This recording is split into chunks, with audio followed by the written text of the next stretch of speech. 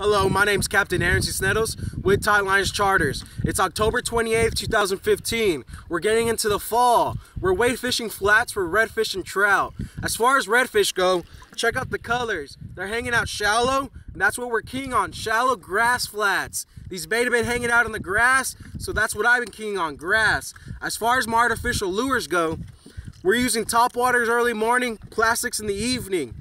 My top waters down here in the lower Laguna have single hooks. We switch them out to single hooks ourselves. We have a lot of floating grass and we have a lot of problems with floating grass. This works out perfect. As far as plastics go, I love using this down south hybrid paddle tail.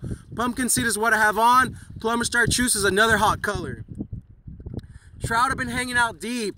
A key thing is, is grass again. Been hanging out deep grass beds. Trout have been phenomenal in the afternoon. Redfish have been great in the morning.